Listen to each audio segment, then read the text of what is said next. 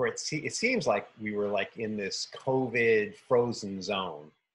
There's this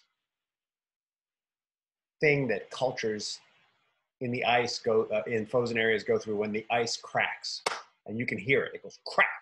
When the ice cracks, everything changes. It's when people know that spring is really coming to these very frigid, cold places. And we culturally are experiencing, have just experienced the ice cracking. I would say that this whole experience of George Floyd, I can't breathe, was the ice cracking for us. And it came right on the advent of the decline of COVID 19. So the ice is cracked. How do we use this time?